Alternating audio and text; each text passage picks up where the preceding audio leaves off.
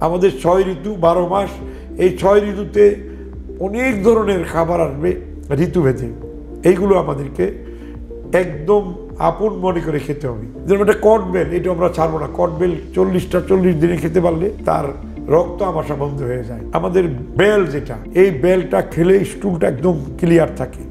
বেলটা আমাদের বেশি বেশি খেতেই হবে। পেঁপে আমাদের খেতে হবে, পেঁপে রোপণ করতে হবে। দরকার আজকাল ড্রামে খুব সুন্দর পেঁপে হয়। গাছের আগা গোড়া ভরে যায় ড্রামের পেঁপে। একটা ড্রামের ভিতরে আপনি চারটা পেঁপে গাছ লাগাইতে পারেন।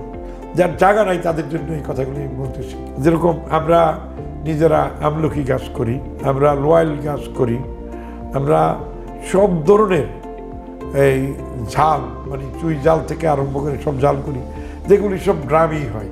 এটা বাঁশের সাথে চুই গাছটাকে বেঁধে দেন। অনেকেই দেখা যায় যে এই ঋতুর সবগুলি ফলের কাছেই যায় না। বাজারে ছাড়াও কিন্তু আমরা রাস্তার পাড়ি এখন সব তরকারি পাই।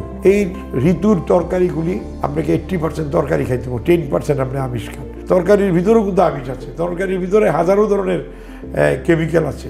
তরকারির ভিতরে হাজারো ধরনের ভিটামিন আছে মিনারেল আছে। সবগুলোই আপনি ভেজিটেবল তরি তরকারির ভিতরেই পেয়ে যাবেন। আর যত বেশি আঁশ আছে, সেই খাবার বেশি খাবেন।